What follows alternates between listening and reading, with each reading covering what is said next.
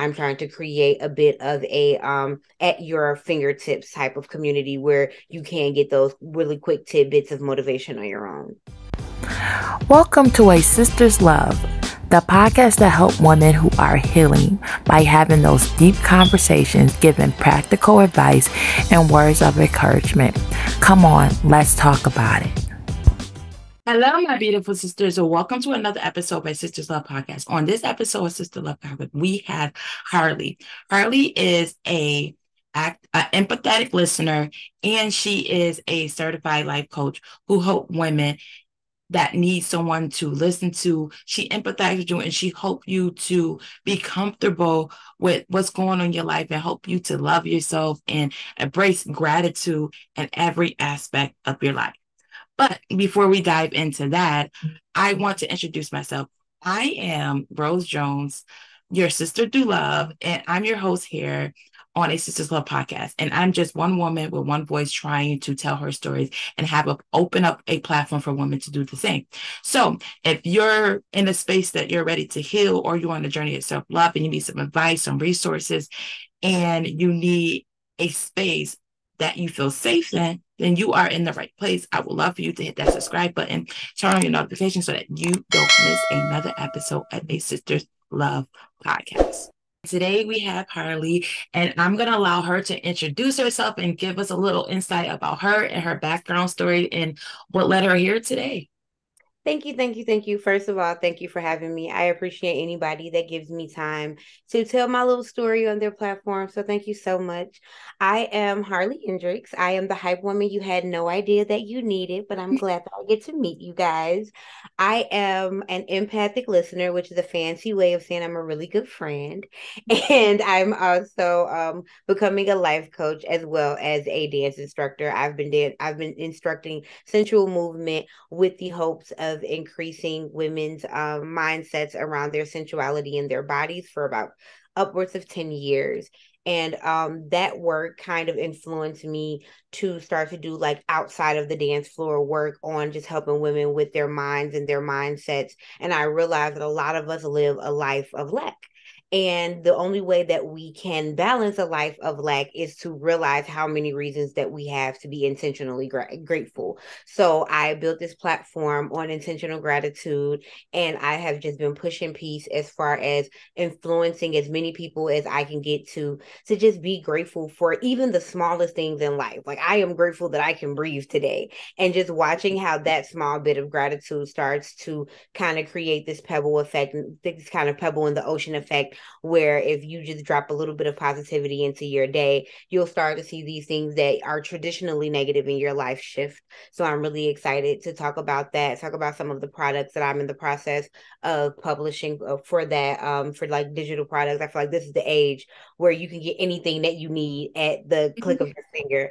So I am creating products that will help ground us daily in, in gratitude and positivity when we're in the hustle and bustle and maybe we can't get to our you know, our counselor, our life coach, our therapist. When we can't get to those big rocks in our lives, what are we doing on our own? And I'm trying to create a bit of a um at your fingertips type of community where you can get those really quick tidbits of motivation on your own. That is awesome. Can you tell the listeners uh what got you into this um field? Like what was that thing that made you want to actually do this and help women?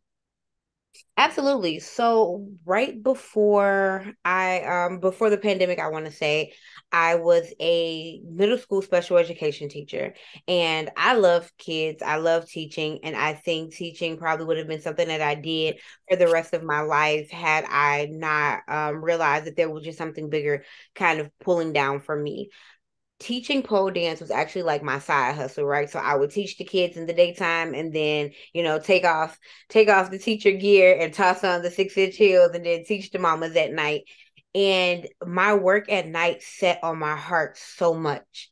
Watching women walk into the dance studio and just feel so depleted and feel so sad and feel like there was nothing else for them to do that hurt me as a woman who was waking up some days and feeling happy or down or whatever I was feeling. But to see women continuously feel and be friends with women who continuously felt like life was just happening to them every day it, it, hurt me and i was like wow so when i kind of got um to the point where i no longer wanted to teach i was in a place where my own life was starting to be affected by teaching and my own mental health my partner was like you are not happy and so we need to figure this out um and he was so amazing and gracious to be able to kind of give me the opportunity to what i call retire right because after six years and you can't really retire, but I did retire. I retired from teaching after six years. and I spent about uh, a year really at home. Um, he handled the finances in our home. And at the beginning of that year, I was just a woman living le- in luxury. You know what I mean? Like I was waking up and or waking up early enough to say goodbye to him because he's a truck driver. So I let him on out the door and I got the house clean and I was taking bubble baths in the middle of the day. But then I got bored after about 30 days of doing that. And I started to answer calls on this app called Hapi. Hapi spelled H A P I. So Hapi Talker is a beautiful amazing resource and i'll give you a few links to kind of put into this um this episode so you can be able to help for your viewers if they have any following questions Hapi is a platform where you can anonymously sign up to talk on the phone with an anonymous person who is just there to listen to you literally is just there to listen to you. So when I first started this, it was about two years ago, and this was a beta app. It wasn't even like a full app yet. It was in the process of kind of being tested. So the people who own the app can see if this is something that people need. Do people need unbiased, uh, you know, uh, advice or unbiased, unsolicited, um, just space to be held? And the import of people signing up to become Hapi listeners the amount of talkers that we're calling because the amount of people who cannot afford you know a, a, therapist or the amount of people who are ashamed of even going into a therapist's office and i don't know you but looking another human being in the face and not feeling comfortable saying what is on their mind was insane. Plus we were all at home alone during the pandemic. So a lot of people wanting this app caused the new owner to do a buyout of the first owners and then this second owner his, his this man he came through as like like a visionary and he created a full licensure program around empathic listening. So oh. he was just like he was like not only is is this you know something that I feel that everybody needs, I feel that the people who are doing this need to be considered as some form of service provider. So this went from kind of a volunteer situation to a certification. So I was a part of the the platform when you could just become a Hapi listener by signing up and answering a few you know paragraphs to say that I enjoy listening because into the fact that now if you go onto the Atlantic Listening Academy.com, you will see that there is a full globally recognized certification to become a part of this platform. And I still had to take the certification and I still had to pay for it. And it, I tell people the the certification itself is an investment, but is necessary. And in the midst of me answering calls on Hapi, a lot of the people on the app were asking me like, "Are you a counselor? Are you a life coach? Are mm-hmm. you are you any of this?" And I'm like, "No, but." but you guys are sparking my interest and i'm i just left out of teaching and i didn't know where i wanted to go after that and so I started to realize that life coaching and just like success coaching is something that I was definitely interested in. I was not interested in going back to school to become a full fledged therapist, and I realized that. But the certifications that I've been taking that are going to allow me to be what I call a success coach is like right along lines of what I wanted. And so then when I started doing it, at first I was like, I want to help everybody do everything because everybody should be happy.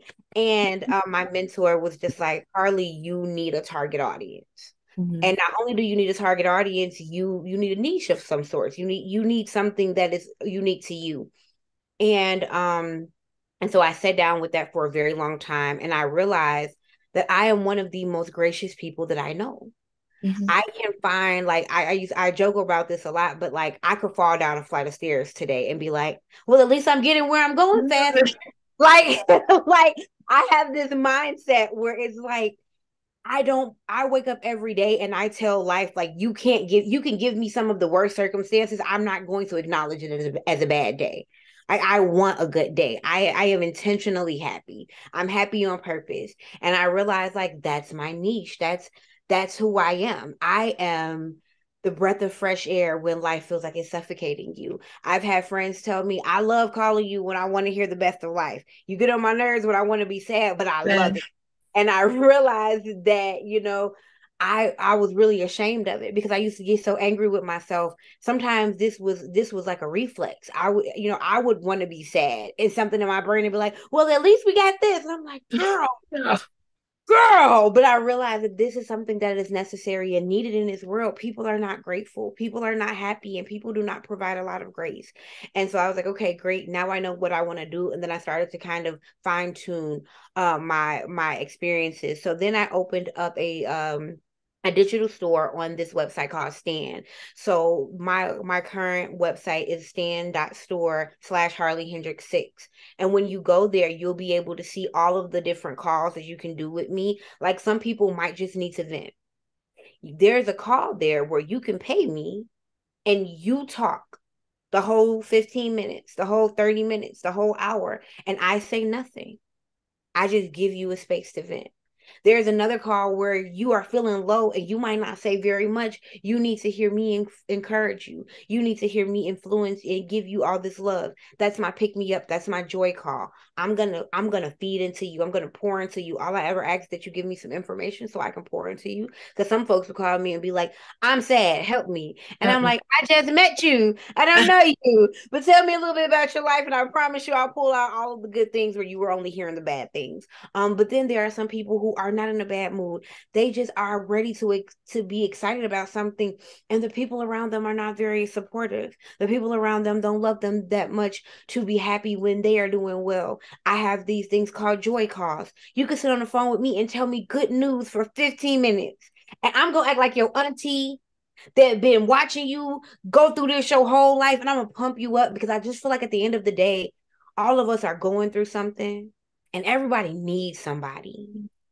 And so I've positioned myself on all of my social media platforms as as hopefully a somebody for some of everybody. I call myself lovingly Auntie Harley because I like to think, you know, I don't have any children. I'm probably never gonna have any children. Um I found out from doctors that I am I am likely infertile. But my entire life I have just loved on everybody's children around me my nieces my nephews all of the kids like i have i know people whose kids won't go to nobody they'll come to auntie harley so i i felt like you know at the end of the day while it was a very hard thing for me to conceptualize as a woman especially a black woman knowing that i would never be able to give life i realized i am nurturing in a whole different way I help bring people's gratitude and happiness back to life in their lives. I've been on conversations with people on Hapi where at the beginning of us talking, they couldn't find two things that were positive about their life. And now I can sit on the phone with these people for two, three minutes and listen to them gush about how happy they are. And I know that it was the love that I poured into them, the consideration and the perspective shifting that I assisted with that did that. And that makes me feel so amazing. That is awesome. Um, do you like me? I, I kind of do the same thing, but for some reason, I tap out. Like after a while, like I start to like I feel like more like an empath. Like instead of empathetic listen, like I take on every emotion that people when they listen to me. When I'm listening to people, I literally like take on that emotion. I embody like I'm taking it out of their body and putting it in their minds, and it literally drains me. It's like, is it a way something that you do that stops you from being drained or affected by the emotional things that these people are telling you? Oh, absolutely. I love that question. Mm-hmm. The art of detachment. Mm-hmm I don't feel my emotions heavy enough to even know how to take on another person's emotions anymore. When I'm angry, I'm not angry for very long. I practice it first with my emotions. I allow my emotions to be a visitor only in my life. And so if I'm angry, I what am what are we really angry about, Harley? Well, let's break this down. Let's talk about it. And so I essentially practice my happy cause with my own authentic emotions. And so when people are giving me their emotions, I I can't even grab them as hard as I used to because I, I I definitely empathize with that. At the beginning mm-hmm. of the experience, I was very much in this place of like, oh my god, I can't believe they did that to you, and I felt it. You know what I mean? Mm-hmm. But then I realized that it was because I was also feeling my own authentic emotions in a very um tumultuous way, right? And so when I was happy, busting out the seams, super happy. When I was sad, like everything needs to stop super sad. I'm becoming a lot more regulated and i believe that it is reading books and um, looking at publications and things of that nature around detachment. Detachment is not i don't care about anything which a lot of us kind of says like i want to practice detachment. I want to stop caring. Detachment is literally i see it and i witness it but i am not it. I don't say I am Eh, very often anymore. Like I used to go, I am mad or I am sad. I never say that anymore. I feel sad. I feel mad. And so even my verbiage, even the way I see the things that I feel, it puts me in this position where I am no longer so malleable and manipulative that I can grab an emotion and it be my identity for any longer than it needs to be. Now my emotions they kind of sit on the end table where they used to sit on the couch right next to me, looking gotcha. me in my face, shoulder to shoulder. Now I'm starting to get to this point where I am appreciative of every positive emotion that comes, but I don't let those emotions make me forget that I'm going to have negative emotions. And when I get to my negative emotions, I don't allow them to trick me into believing that I've never had positive ones. And that's what also helps me show up really well in my calls. I know that's a good idea. I thought about that. Like, so it's pretty much like sitting in the place of understanding that this is something that's happening to me or something that happened, but it's, it's not who I am or what it is who I am becoming. So it's like that attachment, like we can experience this. We're experiencing this or experience this, but it's not who I am. And a lot of people embody and think like, okay, because I experienced this, this is who I am now, and I have to carry this with me everywhere I go. Yes. And one of the things that has helped me, um, and I, I literally even have it on my wall, kiss. Keep it simple, stupid. And it's so funny because people like it's so it's so silly, but it's so real because I will I used to overthink to this point where I would probably see somebody trip down a flight of stairs, right? And something inside of my mind would laugh overthinking part of my mind would be like, you have no empathy for human life. How mm-hmm. dare you laugh at this person falling down a flight of stairs? And in the midst of me beating myself down, I didn't even realize this person that got up there laughing. They themselves find it funny because sometimes things are what they are in that moment and they don't mean anything to the greater good or the overarching reliability of your future. Sometimes things are what they are in that isolated event.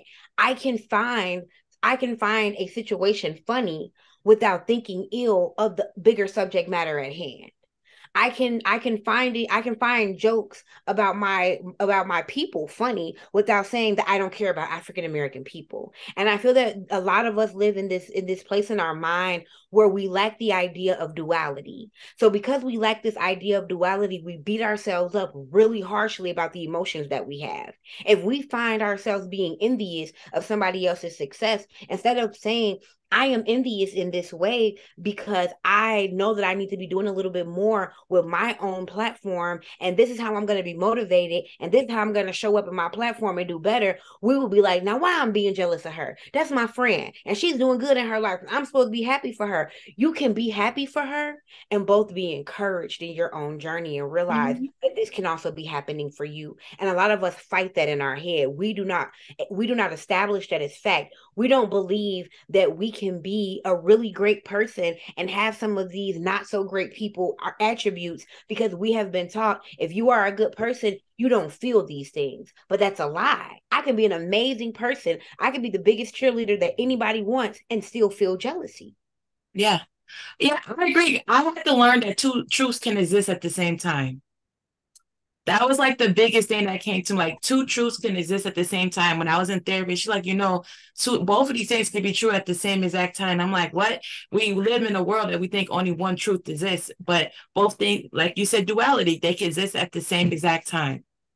Uh, just acknowledging that they both are true and they both are happening at the same time. You can love yourself and hate yourself at the same exact time. At the same time, and honestly, the, the way that it helps me, I think if you and I were sitting the, the way we mm-hmm. are right now, and the number nine or six was in between us, you would see a six. Yeah. And I would see a nine. Neither of us are wrong. Exactly. Visually, this is possible. So if visually this is possible, then if I sit down and have a conversation with you and this person says that, you know, a woman who is, for instance, this is the biggest podcast, uh, you know, conversation ever. Women that are are sexually promiscuous cannot be wives. You are not supposed to love your body and have sex and have sex in abundance and be considered to be someone's wife. I don't I'm not wearing my ring because I'm a horrible person and I was pole dancing earlier. I'm about to be somebody's wife. and I and I am a woman who lives in her sexuality. It's actually my job to help other women live and hone in their sexuality. And I tell people I do not attack the men that say Harley, a woman like you could never be my wife because they are they are looking at a six and I am looking at a nine. Yeah a thousand percent agree with you, sir. I could never be your wife, but I don't want to be. So your six is perfectly safe. I don't have to yell at you. I don't have to make any woman that wants to be in your life feel small because that's who she is. None of that. None of that. I say that. However, my nine is still correct. Mm-hmm. I am a woman who loves Cardi B, Sukihana, and Sexyy Red, but I'm about to be somebody's wife. Yes. I totally agree. I say that all the time. Like, we don't have to knock people down because they're not our our cup of tea. Everybody have a tea. Everybody like their tea different ways, and that's what it is. We don't have to make ourselves feel better by making somebody else's tea seems bad worse. You know what I'm saying? We all like what we like, and it's okay. We don't have to knock down or try to break down the next person because it's not our preference or what we want to uh, go towards. So I totally agree. But we like it. Everybody got their people it's to how many millions to billions of people in this world? We only got one. So if we all the same, well, how are we gonna find our one? So no, no, we can't be the same. We're uniquely. I said there are eight billion people in the yeah. world. I'm a black girl that wears cat ears. I know black people who do, who look at me and be like, but hey, if it's floating my boat, baby, let me float on. I tell people all the time if a person is around me enjoying themselves and they are not causing bodily, physically, or mental mm-hmm. harm to any person that is non consenting, mm-hmm. I have nothing to say. My least favorite memes are the memes where people be like, it's not a flex to blank, blank, blank. Baby, if you're flexing, it's a flex. It's a flex. Exactly. exactly. if you are flexing, it's a flex and that's like the that's the premise of my platform and i think a lot of people when they hear gratitude they immediately hear like this overarching acceptance. They hear lack of boundaries. They hear lack of accountability and it's like absolutely not oh. we got boundaries here we got accountability here. I'm gonna hold myself responsible, but I'm not gonna shame myself. Like I see, mm-hmm. I've been seeing a meme recently that has really broken my heart. That so many people share it. They people are sharing this meme that that reads, "We live in a day and age where people um, are embracing what they should be ashamed of." And there are so many people who are sharing, and it's like, yeah, these people need to be ashamed of themselves. Why? Why? Why?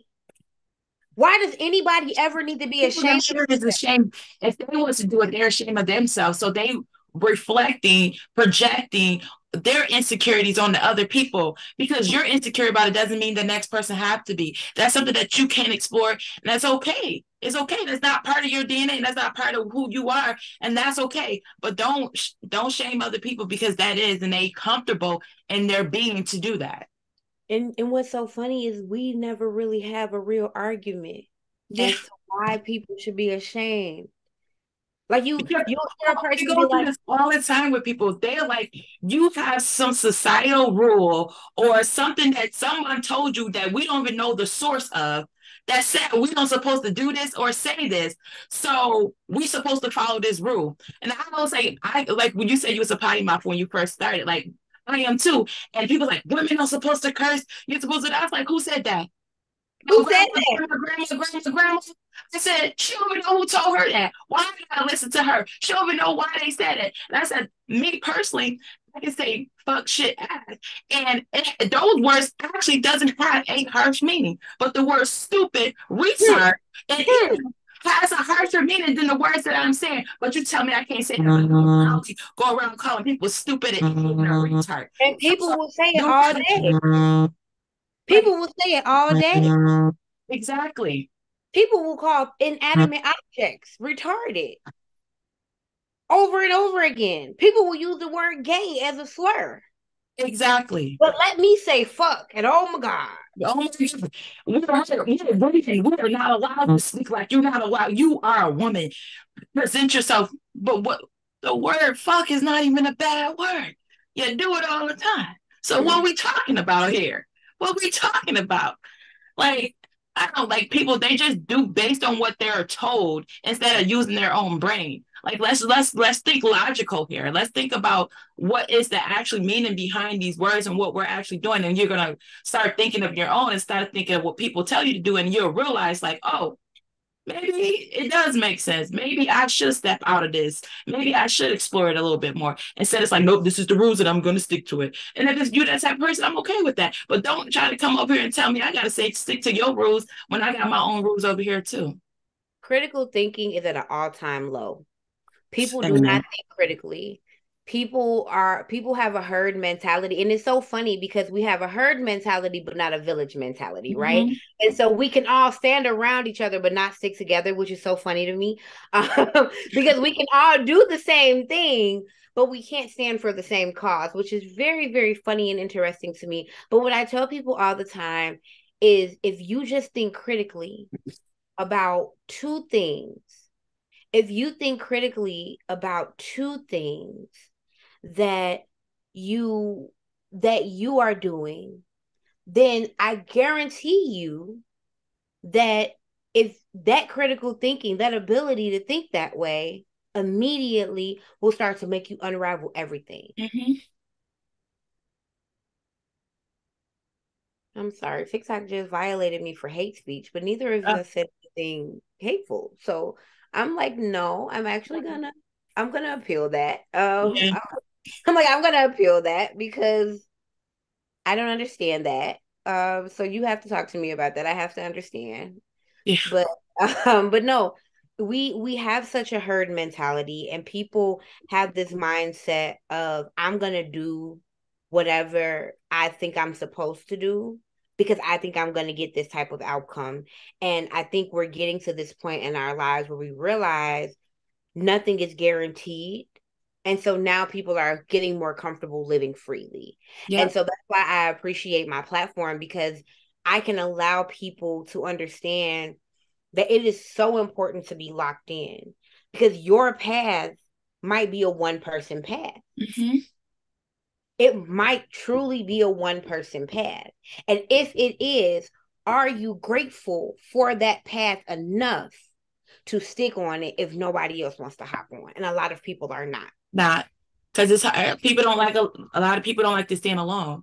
A lot of people think that uh, if they're by themselves, that it's not going to be support. It's not going to be that. But once a lot of you're you think that you're on your you think you're by yourself but once you start when you stay focused and you stay on that path you will realize there's so many other people on that path with you but you won't you haven't you haven't stuck there long enough to see them you haven't mm. stuck you kept you stop walking you stop walking you gotta keep walking and once you get to a destination like oh my god there's actually other people here with me but if you don't keep walking, you won't see it. So I believe that like each path, we have our people, we have our community. We're like you said, eight billion people. We're we're gonna gravitate to who we're gonna gravitate to. You just gotta stay there. You have to be authentic. You have to be unique. You have to stand in your truth to find your people.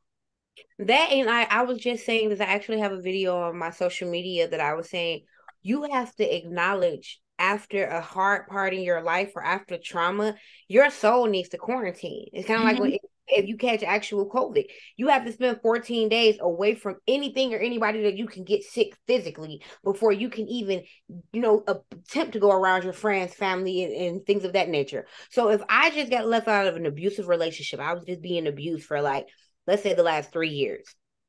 I'm gonna need to spend some time by myself quarantining, purging my soul of the negativity before I try to start another relationship, before yep. I try to be friends with somebody, before I try to build another village. I can't build another village. I can't start another relationship. I can't do any of these mm-hmm. things. I can't do any of these things if I myself am still sick.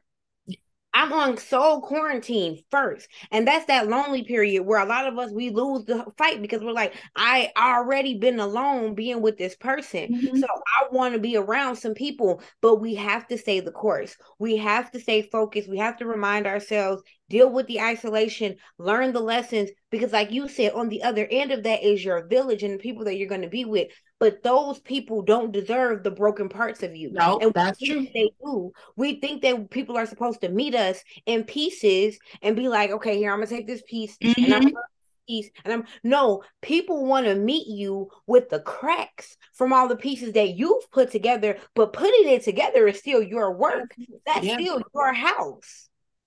Somebody came into your house and threw shit on your floor. You're not gonna leave it on the floor waiting for them to come clean it up you're gonna pick that shit up. Mm-hmm. And it's our house. That's how our emotions are. That's how our hearts are. A lot of us have hearts that are completely tarnished by other people, and these people are dead and gone, and you're still sitting around holding on, waiting for their apology. That person is not alive anymore. You have to find a way to move on and forge forward without that mm-hmm. apology so you can get your house in order. I totally agree. I say it all the time. Like I had my period. You said 14 I, I kind of went six months but like it all depends on the people. But like I couldn't be around people. I couldn't be around nothing. I had to literally just sit with myself and just relearn myself, re-love myself, and regroup before I could even re-enter and just be in relationship with people and things. Like it just I just didn't feel myself. I didn't think it was fair to the people or to myself to actually be in the spaces. Mm-hmm. Because we don't we don't realize how unapproachable, unlovable, and mm-hmm. unagreeable we become when we become traumatized. Mm-hmm. When somebody is hurting you, when somebody is discrediting you, when someone is being inconsiderate to you, you develop a harsh exterior that becomes uncomfortable to be around to people who are not a reason for you to be on guard. Mm-hmm so and you got this you got this wall up at all times to people that didn't deserve the wall. Like, what did I do? Like, why, why are you, why are you so aggressive towards me? And they not even realizing because they haven't did the process of healing or isolating themselves and working on themselves that they even got this wall up. They might be like, I'm out the situation. I'm fine. That's not bothering me. And all of a sudden, it's this big wall come knocking down and like boom, you get pushed away. And people don't feel like you can feel people energy. You can feel when they're in the defense and they don't they don't feel it because they just think they're just walking and just normal. But if people that truly love you and know you, they can feel your energy switch. They can feel when something happened or is bothering you and you don't think that they can, but we all if we love and truly love people, we can feel all that. And people yeah. don't realize that. Even if you don't love a person, mm-hmm. energy doesn't lie. Yeah. I've been in a room with people who I've never met before, but I was like, you having a bad day and I'm about to get out of your way. Mm-hmm. Yeah, yes. But like it will affect them. like if you love the person, it will affect you way more because well with me it does because I kind of like embody people feelings because I didn't learn how to do that the uh the art of detachment. So I will literally like go into problem solving mode. Like well, how can I solve this problem? How can we work through this? And they don't want to solve the problem. They just want to avoid the problem. So, and then now that that put us in conflict because I, want, I feel like I want to help them. They don't want the help. And now we're both like in a battle because I like my person is hurting and I don't want my person to hurt. And because that person didn't do the work, now I'm in a place of making this person feel discomfort, but I thinking I'm trying to make them feel comfortable. You know what I'm saying? Like conflict. I tell the people on Hapi this often, and I'm going to give this to you. Mm-hmm. Happiness and help are just like sex. You have to get other people's consent to do it. Mm-hmm. You cannot tell another person, I'm going to make you happy without checking in to make sure that they need to be made happy. Mm-hmm. Because they might need that suffering. They might choose that suffering. And if that is something that they choose, none of us can do anything to help them. I give a, I give a, the same tangible example. I was walking through Kroger one day, and a young lady on one crutch was shopping in Kroger, and she had the crutch and she had her buggy, and she knocked down a box of cereal. Now I didn't realize that she did it on purpose, and I went running to her aid, picked up the box of cereal. First time I did it, she said thank you but she never moved from that spot. I went back down the aisle, kept doing my shopping. I heard the box fall again. She knocked it down again. Now I'm thinking in my head, oh, she just really needs some help. She really struggling. That poor baby. I've created a reality for this person in my head that they didn't ask me to do. Let me go help her again. And the second time I went to go do it, before I got there, she used her free hand and said, I'm doing this on purpose. I need to learn how to pick this up. Please don't help me. And that made me realize mm-hmm. That it is not common nature and it is not common sense the way my ego wanted me to think mm-hmm. to say, I want to help you. I have to ask the person, do you need help? No matter how close you are to me, I don't care if you're my mother, I don't care if you're my sister, I don't care who you are to me. I cannot ever assume that I know better for you than you do. Mm. And I had to get better at that, even with strangers. This person is walking around with a crush. They need help. No, they don't. They need to live their life and follow their path. And they need a space where they feel comfortable being able to ask for help. But if you are a person who are eager to give help, and I say this to myself and I say this to other listeners, and I want to give this as well to mm-hmm. you, if, as people who want to give help, our our knee jerk has to be, do you need help? And when a person says no, even if they we feel like they just saying no because they mad and they angry and they need somebody to be there, we have to accept no. And we have to choose not to engage because then we create beef between us and them that don't need to be there. Mm-hmm. why you not? I don't know why you not letting me help you. I, I I got you. I know what to do. I know how to fix this problem. No, you don't. You've never been in that situation in that person's shoes. And I usually, I, I usually even say that in the mirror. I used to go, Harley, how arrogant of you. That is because I am. I'm arrogant too. I just take it on because I'm like, I know what I'm doing. Like, do you? And then we get offended because I'm like, you don't trust me enough to help you, or you don't believe that I have the capabilities out. And now I'm taking, I'm refusing my help personal. Yeah. And then what's so funny is I used to tell myself every time I tried to go out of my way to help somebody else, I used to say, Harley, come here. Let's talk a little bit. Let's talk about your life. Mm-hmm. Let's talk about your life. Is all your dots in a row? Oh, they not. So how mm-hmm. the hell are you trying to show up right here? And this ain't together in your life. You ain't got your content out. This website ain't up. We got three mm-hmm. got three workshops that we done bought and we ain't we ain't looked at them workshops, but I'm chasing my sister down trying to ask her why she ain't doing the certification. That's not my job. Mm-hmm. And so another thing that helps me with getting out of my ego and getting out of other people's business is is really just looking at my to-do list. Because a lot of us are the same the people who are, are, are, who are so eager to help and so ready to show up for a person we are also the people every new year next year I'm gonna have to look out for myself a lot more because my money wasn't what I wanted it to be, and I didn't do all of the things that I wanted to do this year, and it's because I was always helping everybody else. 80% of the people you helped in that year didn't ask you to do any of what you did. That is so that means about 60% of that you could have been doing things for yourself, but instead we go out of our way to help other people instead of acknowledging what is really true in our lives that a lot of us are running away from our own issues. A lot of us are running away from our own our own responsibilities. A lot of us are putting to the side our own issues, our own to-do list to be able to hunt another person down and really if we go even deeper, we realize the arrogance of trying to help another person out because I'm not trying to help you out because I think that's going to be a, the best good for you. I'm helping you out because if you have this situation fixed, then you show up in my life the way I see it in my head. It's still mm-hmm. arrogance. It's it's still arrogance. I don't have your best interest at heart. And it's so funny because all of the nicest people in the world that I know are like, people don't appreciate me. I show mm-hmm. up. I'm helping people. I'm doing this. You're not helping them. You are trying to mold them into the thoughts that you have in their your head because you believe that if you get them this job, if you do this for them, if you help them figure that out, then they will show up to you in your life the way you want them to show up. How many of us have, have helped a man get income thinking that he was going to start taking us out on dates and then he disappeared? He never had the intention to take you out on dates. He never had the intention to show up the way you had it in your head, but you thought that the money was the issue. So you went and got him a job. You thought that the car was an issue, so you went and helped him get a car. You thought that his friends were the issue, so you chased away all his friends, and you realized that the issue is intent. Mm-hmm. People will do what they want to do, but we will go out of our ways to help people to make them show up in our life the way that we want them to show up. And the reality is, is that was never their position. That is truth. That's a whole hand clap right there. That's a- but when I learned that, when I learned that, it also helped me turn my gratitude inward.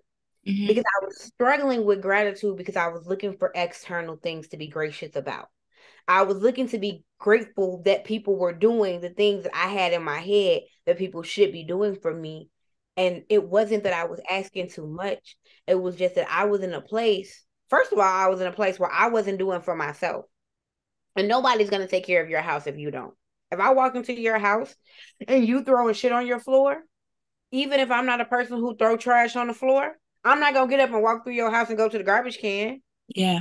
And everybody else throwing stuff on the floor. So when we when we avoid our own selves to try to help other people, we message to people without saying it that I come last. So it's hard for you to be able to think that people are gonna put you first when you're coming last in your own life. When that is true. I've been working on that this year. This year, I've definitely been working at, especially with the kids, like draining myself with my kids and my family and stuff like that. Like literally telling like, no, like I literally devoted one day of the week, like every Wednesday. I'm like, I don't care what you gotta do, what you gotta say, nothing. That's my day.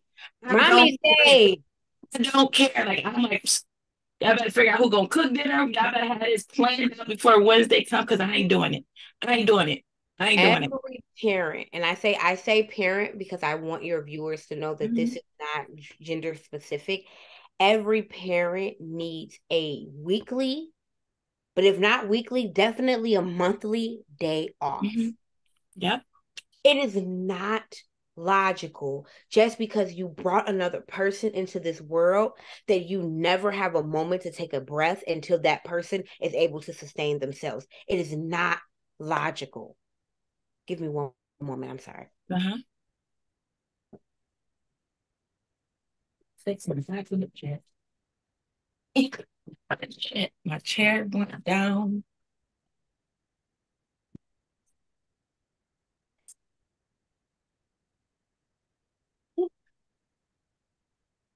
I am back. Technical difficulties all around. Look at that. But no, but no, it is not logical to think to yourself that you created another human being and so now emotionally and physically and spiritually you are tethered for the rest of your life that is so sick to think that every person deserves a time to be just human no matter who you are, no matter what you're doing. And if you have children and like you like you've done, if you have not set that boundary, y'all set that boundary. Get you a mommy day off, get you a daddy day off, get you a guardian day off. Even if you are a you know a legal guardian of a child and you are uh, showing up, there has to be time off. That was the reason for our villages. When when we had when we lived in this with this village mindset where everybody took care of everybody, all them kids stayed at so and so parent house. You know, when we back when we all had cousins and aunties up the wazoo. Mm-hmm. All of us would stay at somebody's auntie house, and now those other three or four groups of parents get a chance to get a break.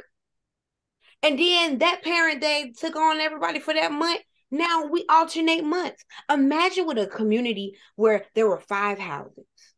There were five houses, five two parent households with two kids in there apiece, and one household took every kid for a date night for the parents once a month. Imagine the type of communication that we could get done, the vacationing that we can get done, the experiences that we can get done. Imagine if those same five houses started a garden in each one of those backyards. And imagine if all five of those families shared goods and services. Imagine if two of those mothers were were teacher certified and they were teaching those kids in the houses and and the dads all had carpentry degrees so all of the things that have to happen inside the houses are made in house and imagine if one of those mothers is a seamstress and so now all of the clothes that we have are coming from that community imagine what happens with just five houses 10 adults mm-hmm. 20 children. Imagine what those kids think. Those kids don't think another don't think twice if they go into school and somebody wants a little bit of their of their food and you give them a little bit of your food and, and they give you a little bit of those food. We have to shift our mindset. And so many of us don't have that mindset. We have a mindset of lack. Yeah. We have a mindset of I don't know if I'm gonna ever get this again. So this is mine. Nobody can touch mm-hmm. it. And we do this with people. We do this with happiness. We do this with everything. We hold things and we harbor things. And if you've ever held a puppy or a baby and you squeezed it too tight, you almost killed it. Yeah. And that is what we do with our emotions. That's what we do with love. That's what we do with affection. Affection and things of that nature, they're fragile, like a baby, like a puppy. We should be able to cradle it and we should get it in abundance that it comes in and it goes out, but we don't. And because we don't, when we get it, we squeeze it. And if we squeeze it too hard, we will snap its neck. Snap it. Mm-hmm. And we'll lose it. And we don't realize, and then we're like, what happened? What happened? What happened? And I used to do that I used to do that with my kids too because of my trauma. I used to hold them so so tight. I used to, I'd be the helicopter parent, and then I, and the more I held, the more they slipped away. The more I held, the more they slipped away. And I'm like, okay, let me just let me just let go a little bit. And as the more I let go, the closer they became, the closer I became. And then I realized like holding on to stuff too tight or trying to control situations is not helpful. It's not helpful. It's just like we have to sometimes we have to let things go for it to come back. You know what I'm saying? You got to let things go to let it come back and just realize what is meant to be is gonna be. You know what I'm saying? And just do what do right by yourself and right by the people around you, and the things will come.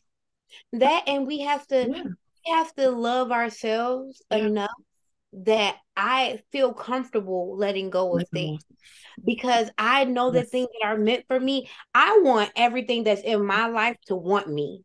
Yeah. So my I don't. I tell, I tell people I don't have restrictions on my partner. My partner can walk up to a woman and tell her that she's beautiful, and a lot of women will look at me and be like, "Did you just hear what he said?" I say, "Yeah, she is beautiful." Yeah.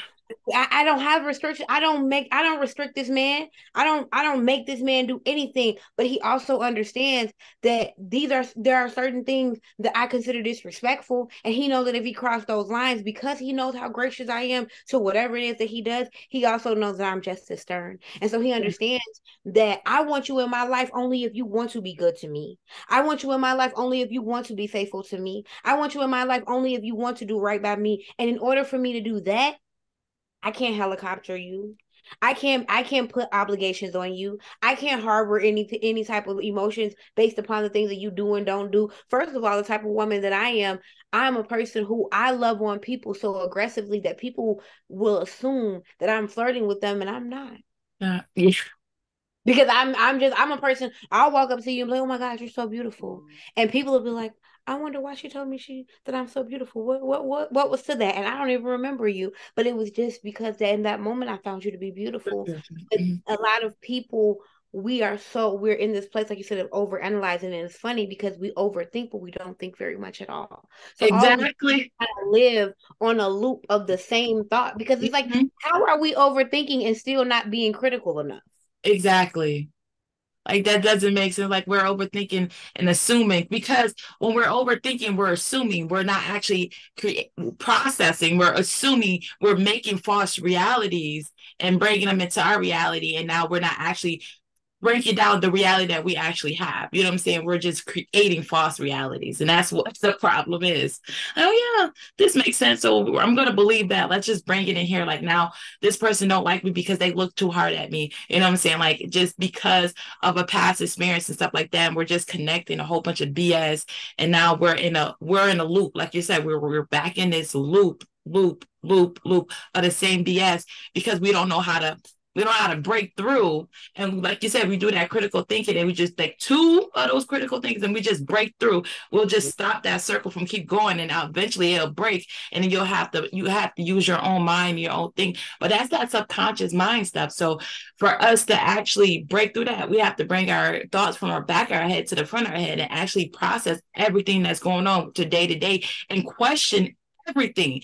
Everything is not what you think it is. We have to actually question this. Is this exactly, is this what I'm feeling, or is this what somebody else told me to feel? Is this actually what's going on, or I'm assuming it was going on? Do I I make an assumption, or can I just ask this person exactly how they're feeling about me? We're assuming that this person is feeling this way instead of just asking in our mind, we're assuming that they hate us and stuff like that. And I was like, what? I love you. I'm just a, a blunt person. You know what I'm saying? Yeah, Like, you know, because I don't it, because it doesn't look the way that it looked in your head doesn't Mhm. make it not a real thing. Is what I had to help myself with. It's like people, and then the thing is that people, if a person truly is supposed to be in your life and they love you, they will gladly speak to any insecurity. They Mhm. will gladly speak to any doubt. But if we never open our mouths, then we live, like you said, we live on the loop. Yep. And so communication is a really big piece of my platform. Like when people call me to do calls with me, more than likely we spend time at first. Our first few calls are always about other people. And every time they ask me questions, it's always trying to break down the other person's thought. Well, Harley, mm-hmm. why do you think they would have done this? I have no idea. But I do mm-hmm. know this is how this applies directly to you. And by the third or fourth conversation, people have started to shift their thinking. A lot of us, and the part and the way eh, on the road of being taught to be humble and to be selfless, we have been taught to completely discredit, dis devalue, and disregard ourselves. Mhm. That's why I will never tell a black girl to be humble, a little black girl to be humble. Mhm. I won't. If we look up the definition of being humble, it's nothing that I want to feel. It's nothing that I want to think of myself. I don't ever want to think low of myself. I would like to be grounded. And I tell people that all the time because people always say, Well, if you don't want to be humble, what you want to be? Harley, are you arrogant? First of all, I might be. And I'm gonna tell you why I might be. I wake up every day at 4 30 in the morning. When I by the time I go to bed, most of the work that I get done within the time that I go that I wake up between the time that I go to bed can be considered to be about a week's worth of work for some people. So in all honestly, some days I do show up arrogant and I am mm-hmm. proud of my arrogance. My arrogance is a is a direct result of my work ethic. yeah. But but on those days where people are asking me, do you identify with being arrogant? No. But if I'm going to be anything, I'm going to be grounded before I am humble. I am not humble. I don't have a reason to be humble. Yeah. I have a reason to look at myself in a low standpoint because even on my days when I'm resting, I am still eating off the fruits of days where I was working hard and giving myself every reason to be arrogant. I walk in my arrogance because I am I am a hard worker. I bust my ass on a day-to-day basis. And a lot of people that I know bust their asses on a day-to-day basis. And the reason why they're not able to get to the next step in their life is because something in their head and somebody once taught them that you're not supposed to clap for yourself. If you climb this much of the mountain, you got to be like, okay, but I still got this much further to go. Great. But if this is where I'm at today, at the end of the day, I'm going to have a party right here. Yeah. And tomorrow, when I get right here, I'm going to have a party right here. Exactly. Exactly. Every time I plant a flag, I got to have a party. I think people get the half the problem with arrogant is when a lot of people like take their arrogant, like they take their accomplishment and pushing it in other people's face. Like and where I don't which I feel like you're just saying I'm proud of who I am and I'm just expressing that and I'm just talking about it. A lot of people like, no, am like a lot of people don't know how to use it in a positive way. And I think that's what people like, oh, you're arrogant. Like, no, you just haven't seen somebody express it in a positive way. Every experience you had with somebody being arrogant been negative. And a lot mm-hmm. of ignorant people, like you think you see that word as a negative aspect because the way people use it. And I, I think that's why the people have that problem. Like, are you arrogant? Like, I supposed to be? Don't don't we supposed to be? Like, Well, I'm think supposed to I be think proud of people- myself. You're using the word in a po- in a negative way. So people people just don't know how to uh, separate the two or see see it in a positive light because they're like you said perspective they only have one perspective of this word when we said two truths exist at the same time I love it. One of the the social cognitive books that I read talks about living life above uh, versus below the line, right? And and we talk about things where I can do the same thing and if I am my perspective if if I'm above the line, it means one thing versus if I'm below the line, it means another thing. For instance, I can go out and dance all night until the sun comes up. If I'm doing it from above the line, I'm probably smiling. I'm having great experiences. I'm meeting the best people in the world. We're having a great time. But if I'm doing it from below the line, I'm probably out. Like there's a Rod Wave song where he says he's standing in the middle of the club trying not to cry off a love song. There are people who go out just to silence the, the negative the negative sounds. So they're in the bar and you can watch I've I've sat in the bar before and watched people sitting at the bar and they look like they crumble into pieces. Mm-hmm.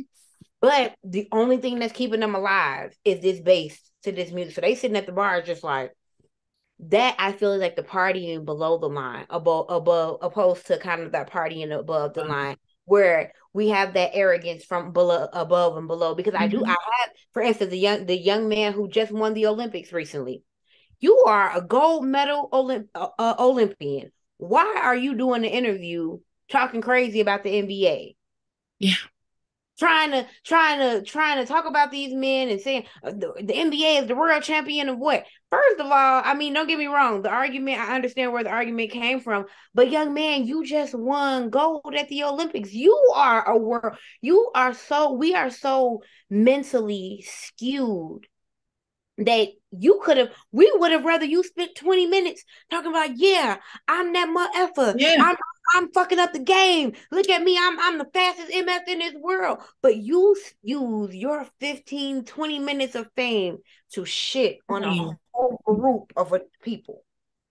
And so I would consider that, like you just said, arrogance below the line. Yeah. Because you are in a position, you got a platform, you got all these cameras in front of your face.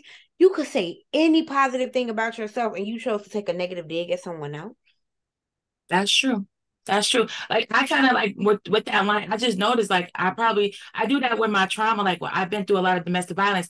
Instead of me talking bad about my abuser, I come on above the line where I empathize with them, and I sit in a place where I try to understand where they was going through their mindset and how they experienced like what caused them to be in the position to do what they did to me. So people like, well, I never hear you talk bad about the people. Why would I? You know what I'm saying? Like that serves no benefit to me. My goal is to make myself better, to heal, and and making that person look bad is not going to do anything for me. You know what I'm saying? So I kind of do that and I kind of teach people to do that. Like, no, use a place, sit in a place of empathy with the people that hurt you. You know what I'm saying? And it will make you feel a lot better in the situation instead of sitting in a place of victim.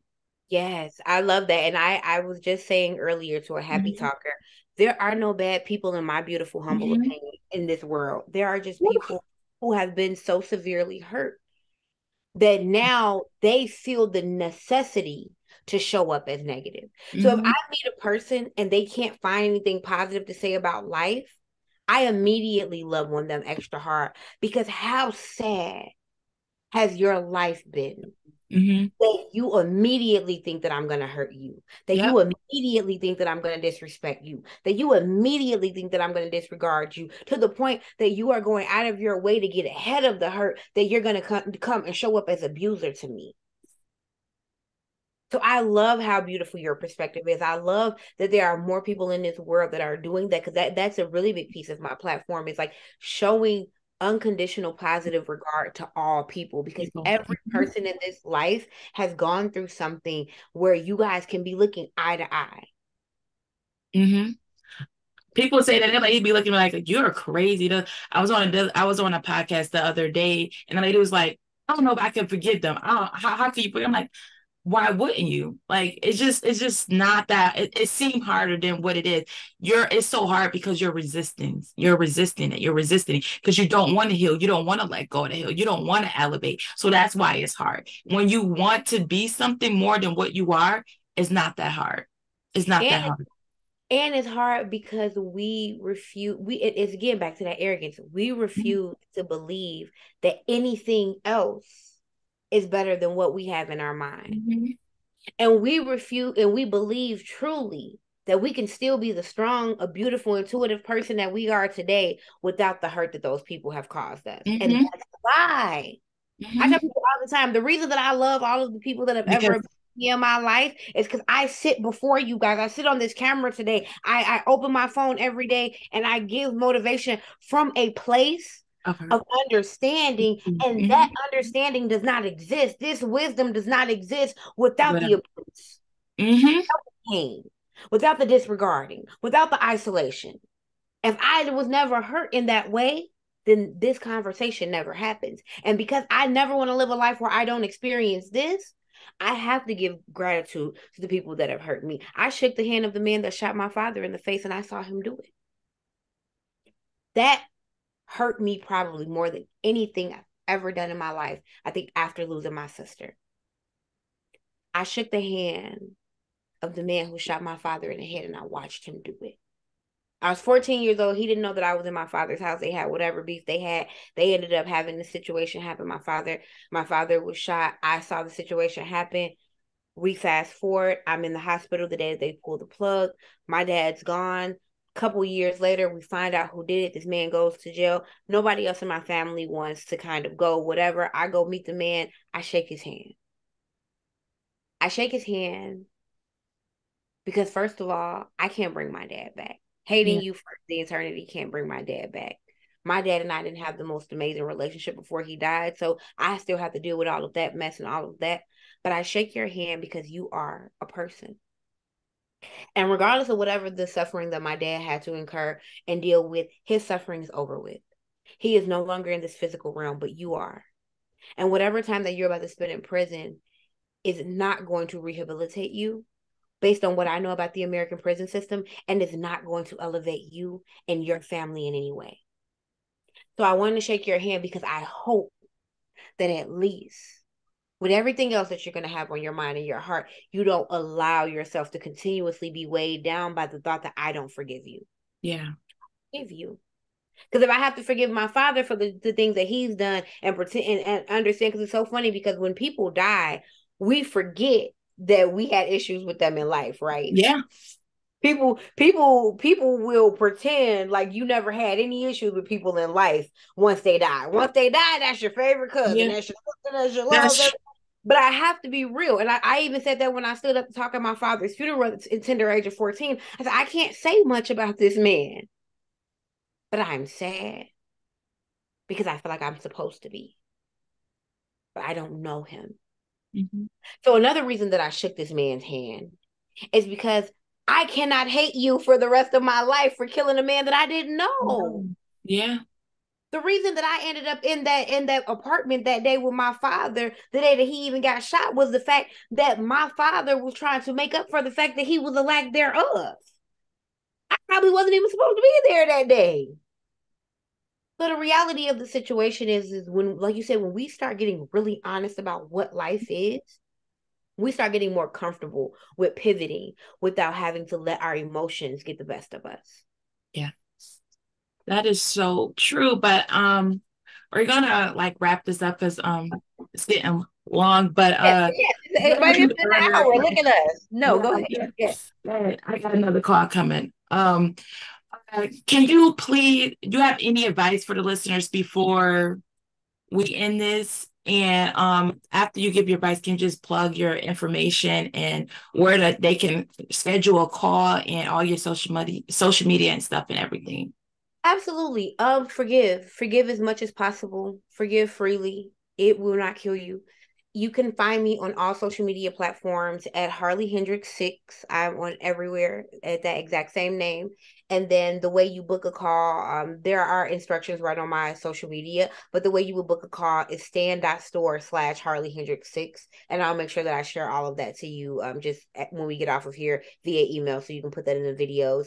But I am Harley Hendrixx six on everything, and you can book a call at sta- at my stan store. If you are out there and you're listening, but you want to be anonymous, like you know that I'm on Hapi, but you want to be anonymous, then you can find the Hapi app, which is H A P I and when you go to the app, you'll be able to log in, become a talker, and you'll be able to see me. I'm live all day. So I'm one of the people, one of the first people you see when you get on the app. I even signed on to the app from a different device that wasn't mine. And I realized that I pop up very fast, very soon. So if you are out here and you want to book a call with me, but you don't want to be seen, because my platform is not anonymous.